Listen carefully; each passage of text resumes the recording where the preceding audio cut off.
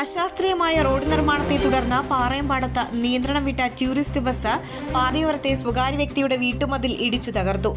ചൊവ്വാഴ്ച പുലർച്ചെ നാല് മുപ്പതോടെയായിരുന്നു സംഭവം. അപകടത്തിൽ മൂന്ന് പേർക്ക് പരിക്കേറ്റു.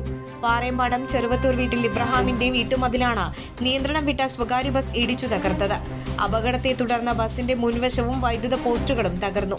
മേഖലയിൽ ഏറെ നേരം ഗതാഗതം തടസ്സപ്പെടുകയും വൈദ്യുതി മുടങ്ങുകയും ചെയ്തു. റോഡ് നിർമ്മാണത്തിലെ അപാകതയാണ് അപകടത്തിന് കാരണം.